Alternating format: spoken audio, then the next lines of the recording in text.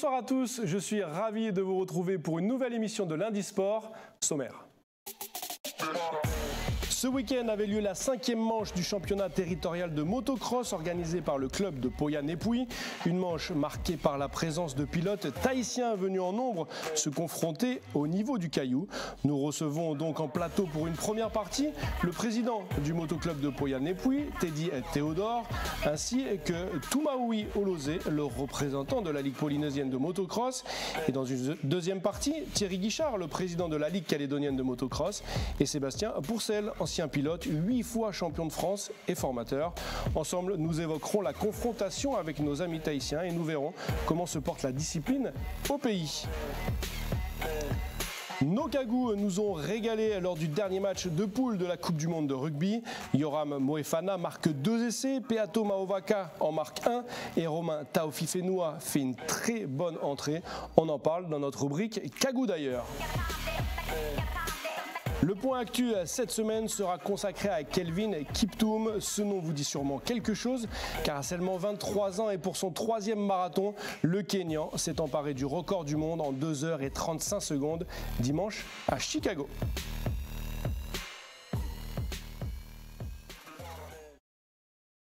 Bonsoir à tous et bonsoir à tous les deux. Bonsoir. Ça a été la course? Très bien. Très bien. Eh ben, on en parle dans un instant. Juste avant ça, j'aimerais qu'on regarde ce sujet de Lina Wakaseu. Elle a pris le pouls des Tahitiens juste avant de, par- de participer à cette course. On regarde. Après 8 ans, ils sont de retour sur le caillou. La délégation tahitienne de motocross se prépare pour une manche du championnat de Nouvelle-Calédonie.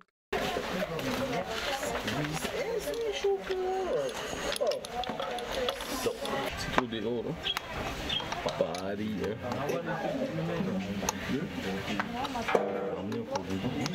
Ouais, c'est ça que je voulais faire à l'heure déjà. de- T'as travaillé là, Et là, Derniers ajustements sur les motos pour les 10 pilotes tahitiens. Tout est vérifié avec précision et rigueur.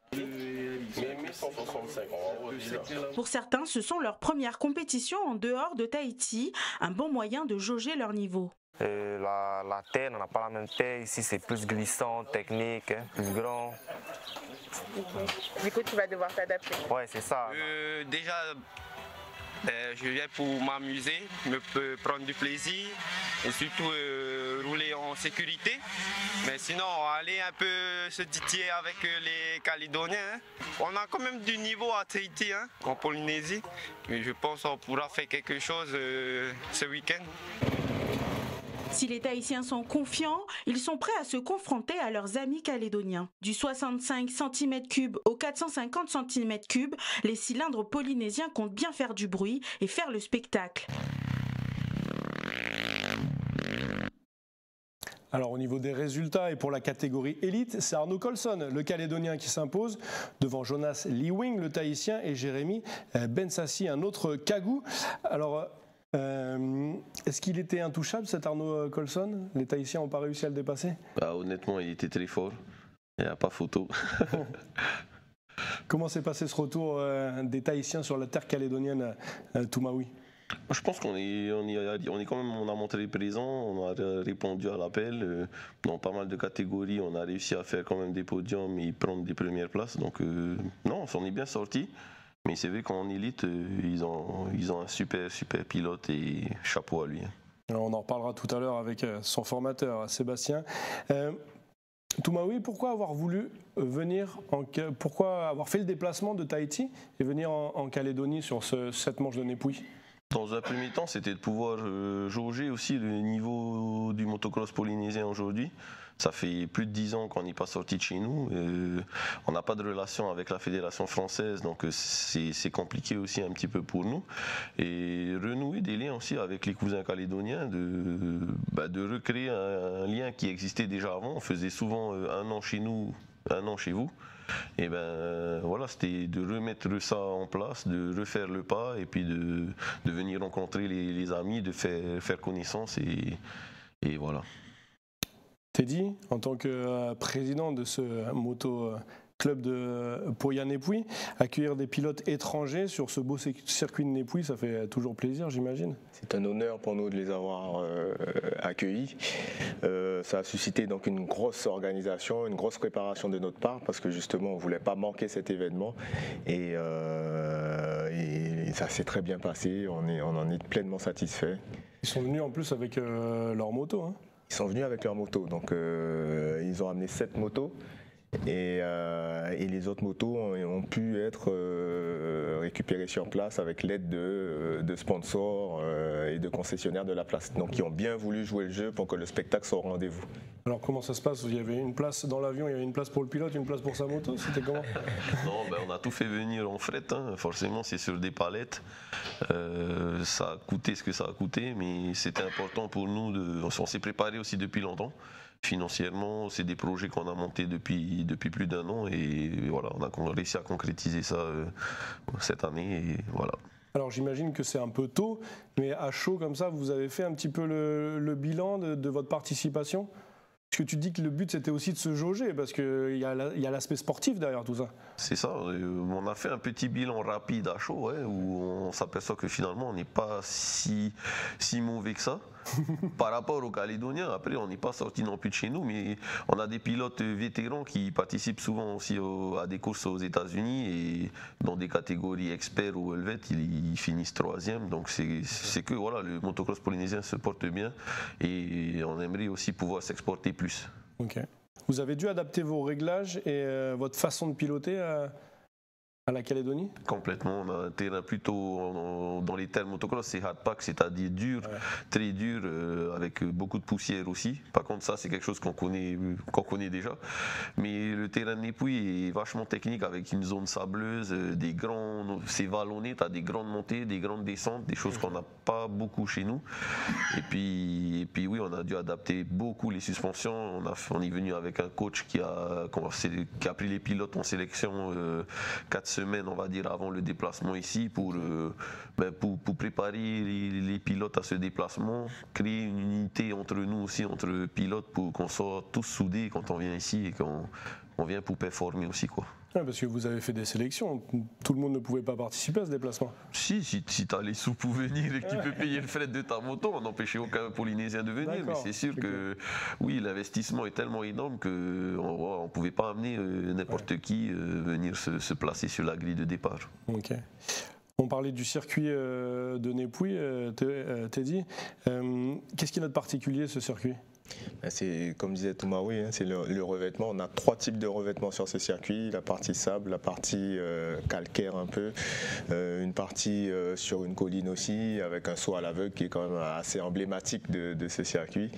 Et oui, c'est un beau circuit. C'est un beau circuit.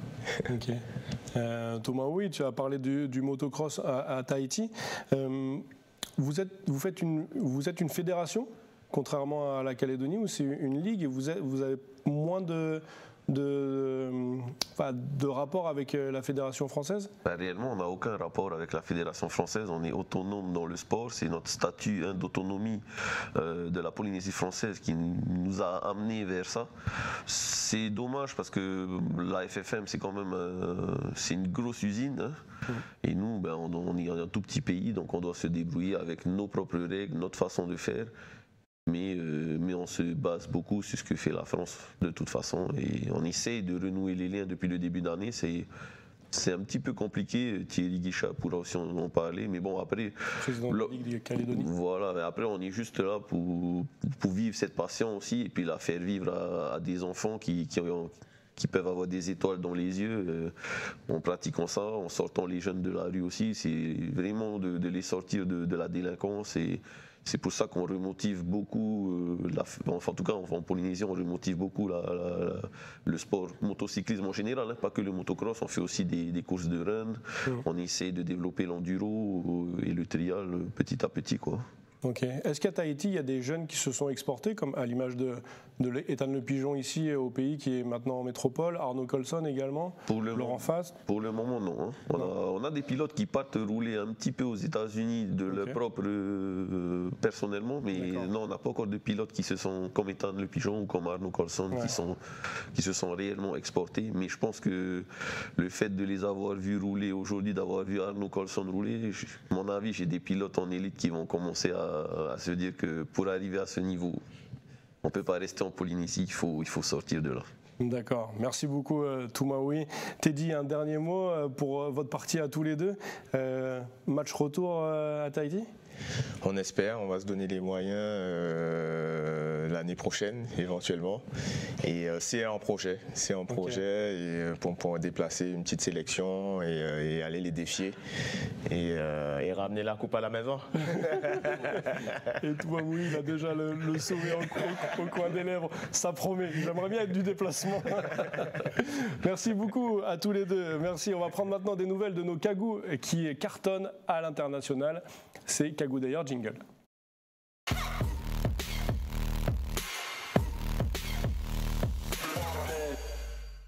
Comme vous le savez, trois Cagous disputent la Coupe du Monde de rugby avec le 15 de France et les trois se sont illustrés samedi matin pour nous avec cette victoire 60 à 7 face aux Italiens lors du dernier match de poule. Je vous propose de revoir l'essai de Peato Maovaka et le premier essai de Yoram Moefana dans les conditions du direct avec nos confrères de TF1. À la retombée, il y a Taofi Fenua, la poussée de Movaka, qui lève les yeux, le Wallisien.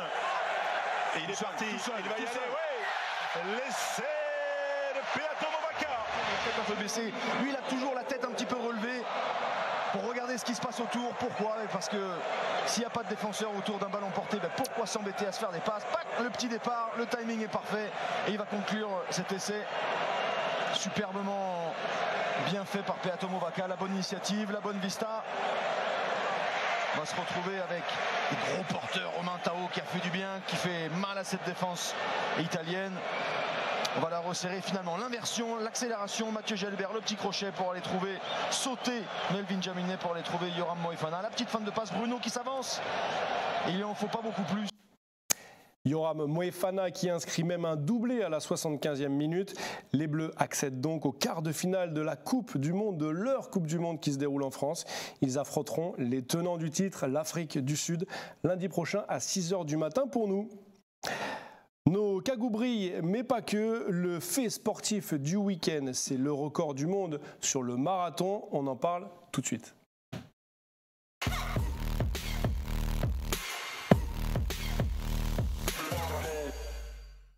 Le Kenyan Kelvin Kiptoon, encore inconnu il y a un an, a réussi l'exploit de battre le record du monde du marathon de son compatriote Eliud Kipchoge dimanche à Chicago en 2 heures 0 minutes et 35 secondes. Il, part- passe sous la barre des 2 heures 1 minute. Il bat le record du monde de 34 secondes de son aîné. Encore frais à l'arrivée à Chicago, il est même allé saluer la foule euh, avec des baisers sur la dernière ligne droite. Sa force et sa jeunesse en font un candidat pour courir le premier marathon officiel en moins de deux heures. Euh, Kipchoge avait réussi à courir en moins de deux heures euh, le marathon sur un événement non officiel monté pour lui à Vienne en 2019 en 1h59 et 40 secondes. Les deux hommes qui détiennent 8 des 10 chronos les plus rapides de l'histoire accompagnent la révolution de la course après l'arrivée de chaussures de nouvelle génération en 2016 très très légères. Et à Berlin, euh, dimanche 26 septembre dernier, c'est l'Éthiopienne euh, Tsip Asefa qui a pulvérisé le record du monde du marathon féminin en 2 heures 11 minutes et 53 secondes.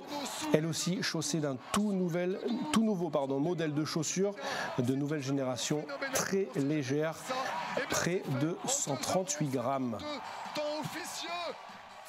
Et voilà pour ces actus en dehors du pays. Alors j'ai l'honneur d'accueillir sur le plateau un ancien pilote, huit fois champion de France, aujourd'hui manager, formateur, il va nous en parler, Sébastien Pourcel. Euh, Sébastien, après ta carrière, de pilote, tu as monté une structure à côté de Marseille euh, pour manager et euh, conseiller les futures pépites C'est ça. c'est ça. Maintenant, je suis passé de l'autre côté et je suis devenu formateur, entraîneur. Donc, euh, du coup, euh, j'ai arrêté en 2016 et derrière, j'ai enchaîné en 2017 avec de la formation et essayer d'entraîner au, mieux les, jeunes pilotes de chez nous. Alors, est-ce qu'il y a des pépites en Calédonie? Ben, justement, moi, depuis que j'ai commencé, on va dire à partir de 2017, j'ai connu Arnaud Colson en 2018 qu'il est venu sur le territoire français. Et euh, de là, on a commencé à travailler ensemble et euh, on travaille ensemble depuis 5 ans où on a quand même euh, bien travaillé. On a fait on a pu voir là le, travail effectué quand il revient en Calédonie. Parce que c'est vrai que là-bas, quand il est sur le territoire français, il y a un gros vivier. Mmh. Et donc, on est, il y a toujours quelqu'un de plus fort que nous. C'est rare d'être. C'est dur d'arriver en haut de l'affiche. Mais quand euh, il est revenu ici, euh, ils ont pu s'apercevoir qu'il y a eu un gros travail d'effectuer depuis qu'il est parti, qu'il était en 85. Et donc ça fait, ça fait plaisir, mais voilà, on moi en tant qu'entraîneur, j'en veux toujours plus. Et ce que je veux, c'est qu'il soit le meilleur français de sa catégorie pour euh, aller sur du championnat d'Europe et tout ce qu'il ce qui va faire l'année prochaine encore, championnat d'Europe. Il avait même accédé à l'équipe de France, hein, on en avait parlé. Ouais, ouais, ouais. Alors c'était une équipe de France sur de l'espoir. Il avait le statut de sportif de haut niveau. Il a fait partie de l'équipe de France pour des événements. Mais après, voilà, le, top du top, et voilà, il faut, faut perdurer. Et puis là, c'est un âge euh, charnière où euh, il, a ben, on arrive, il a 18 ans, il vient d'avoir les 18 ans. Et euh, voilà, on arrive en haut de la pyramide, donc c'est de plus en plus dur. Ok. Thierry, président de, de, la Ligue de motocross de Calédonie. Des pépites, on a parlé que d'Arnaud. Est-ce qu'il y en a d'autres en Calédonie, des pépites? Euh, oui, des, jeunes pépites qui sortent petit à petit euh, le bout de leur nez. Euh, on a en 85 cm3 Nicolas Martin, suivi juste derrière par Nathan Cariou.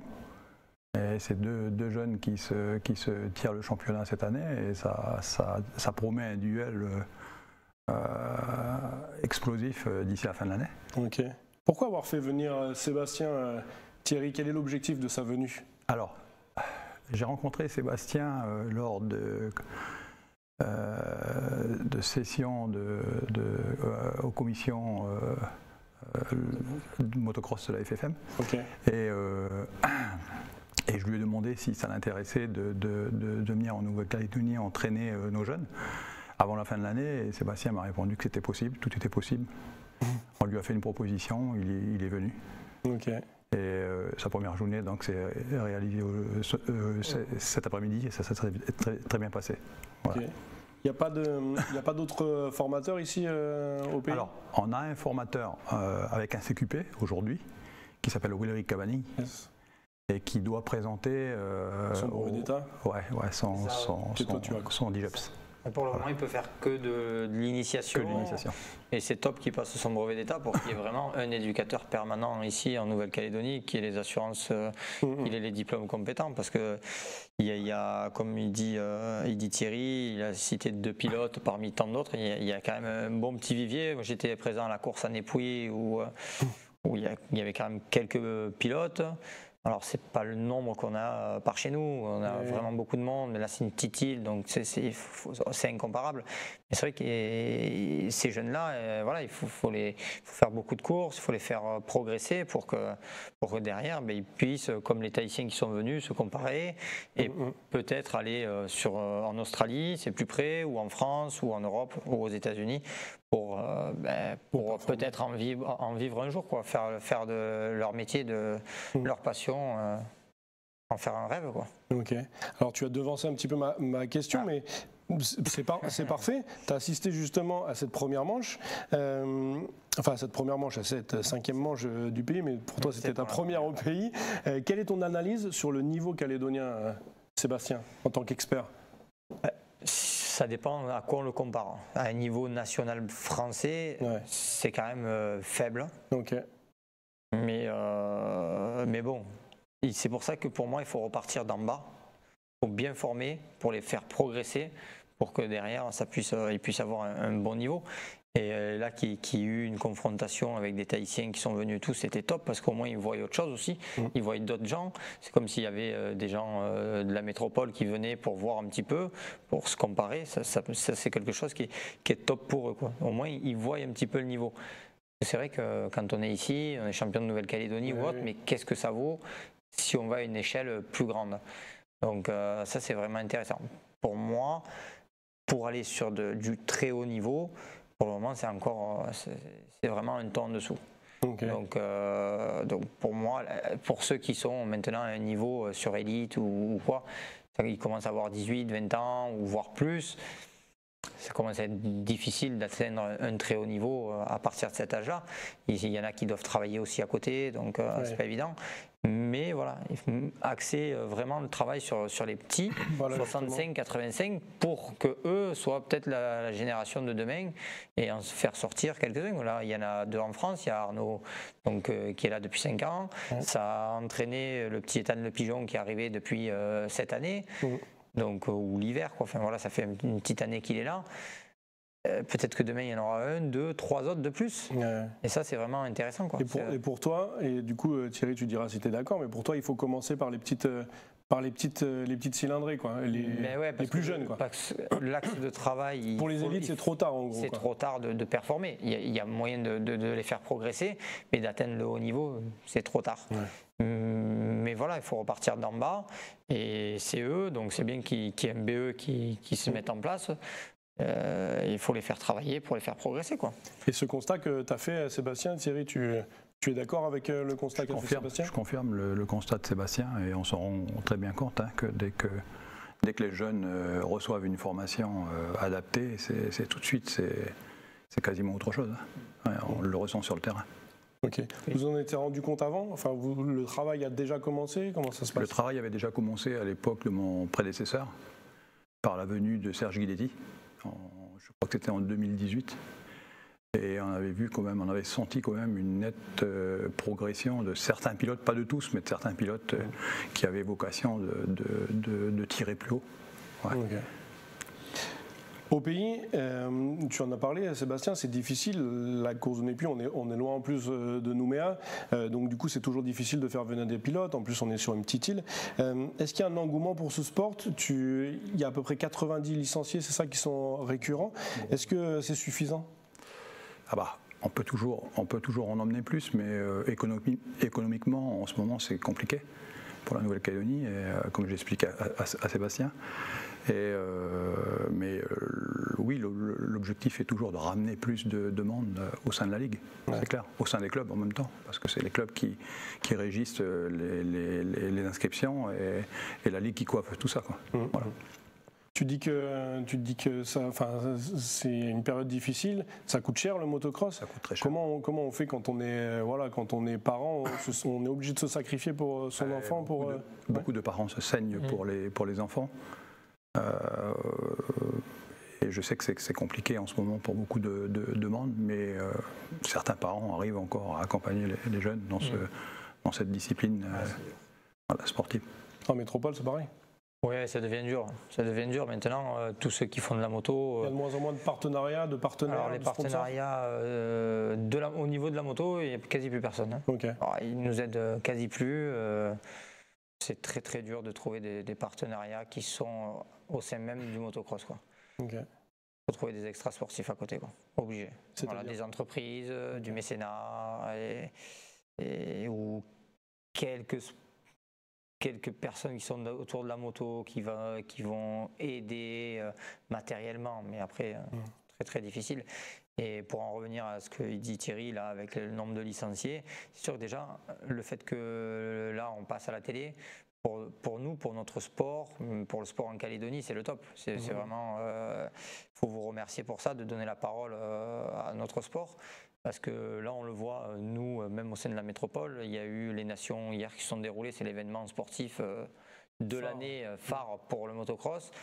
en France, on n'a quasi aucune retombée, même sur des, euh, des journaux spécialisés. Quoi. en plus, c'est les Français qui ont gagné. C'est les Français qui ont gagné. à la maison, il y avait, comme je, te disais tout à l'heure, il y avait 102 000 personnes présentes sur l'ensemble du week-end, deux jours et demi, trois jours, on va dire. Donc euh, c'est important, voilà, ça, attire énormément de monde, c'est aimé, le motocross est bien aimé, et donc euh, c'est top que vous puissiez le mettre en avant pour que ben, ça, nous aide et que euh, les gens le découvrent mmh. et s'aperçoivent que c'est quand même un joli sport. Quoi. Alors j'aimerais qu'on parle maintenant d'Arnaud, euh, avec qui tu travailles depuis 5 ans. Quel est ton, quel est ton rôle? Tu le coaches, tu le manages, tu, gères un peu sa carrière entre guillemets? Ouais, ben c'est ça. Moi, depuis qu'il est arrivé, euh, on a essayé de, lui donner les cartes pour qu'il essaye de réussir. Alors, réussir, même les très bons à son âge ne sont pas sûrs de réussir. Hein.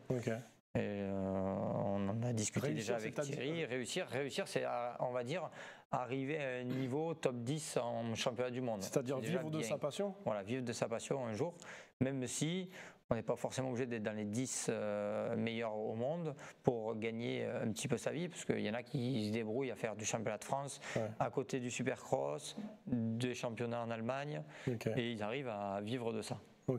Parce qu'il faut savoir que maintenant, ça devient dur de, vivre du motocross. Et il faut vraiment être dans, le, dans, la crème de la crème. Quoi. Mais bon, pour euh, essayer de l'aider à atteindre son but, moi, c'était ça. C'est vraiment de le mener à être dans un top 10 mondial un jour. On sait que c'est dur, on sait qu'on part de loin, euh, on n'y arrivera peut-être jamais. Mais euh, moi, je suis là pour essayer de lui de, qu'ils y arrivent, que ce soit Arnaud, que ce soit les autres jeunes que j'entraîne. Est-ce que vous êtes combien dans l'académie du coup? Alors, on est 5-6 en régulier et une quinzaine sinon que j'ai quand même assez souvent. Quoi. Sous l'œil. Mais il y en a ouais, 4-5 que j'ai j'ai quasi tout le temps. Quoi. D'accord. Et il y en a Arnaud. Arnaud, fait, le, Arnaud fait le sport et la moto avec moi. Donc euh, il, est, il est là très, très, très, très, très souvent. Quoi. Je l'ai tout le temps. Quoi. Il doit avoir du mal à me supporter maintenant. mais euh, on, lui, on, lui, posera la question la prochaine fois qu'on le verra. On a parlé d'Ethan le pigeon également. Thierry, est-ce que tu as des nouvelles de lui? Comment ça se passe pour lui en métropole? J'ai pas plus de nouvelles que ça de lui. J'ai des, des, échos euh, de, son, de, son, de son périple en France. Il n'a pas trop gagné de course ces derniers derniers mois. Euh, mais je sais que c'est dur pour lui. Eh Et, par contre, euh, ce qu'on a su dernièrement, c'est qu'il a été euh, pris dans un team accompagné par Pascal Finot, son, coach actuel. Quoi. Ah, donc c'est très bien, ce qui, ce, qui, ce qui, est une bonne chose, hein, parce que Pascal Finot, c'est quand même une, mhm. pointure métropolitaine bien, bien mhm. connue dans le sport moto. Et, on, est, on, est, vraiment ravis pour lui la première année, euh, c'est toujours dur. Quand on arrive de, Nouvelle-Calédonie, euh, on est habitué à, une certaine terre et une texture, un climat. Là-bas, quand les pilotes arrivent, euh, on va dire, on arrive sur la deuxième épreuve du championnat de France à Romagné où 80% du temps il pleut. Il y a des ornières euh, comme ça, des trous. Euh, il, y a des, il, y a, il y a sur la piste, sur 8 mètres de large, il y a 8 ornières. Pour adapter son pilotage. Ouais, ouais, voilà, c'est pas la même chose. Donc le temps d'adaptation, d'entraînement, ça se fait pas comme ça en un petit hiver, quoi. Il faudra plus de temps pour Ethan. Ouais, ouais, mais il n'y a pas de raison. ça marche. Merci beaucoup à tous les deux d'être venus euh, pour l'émission. C'est euh, un honneur de vous avoir sur, sur le plateau euh, de Calédonia. Merci aussi à mes deux invités de la première partie, Théo et Toumaoui. Et on se dit, nous, à la semaine prochaine pour une nouvelle émission. C'est à la bande.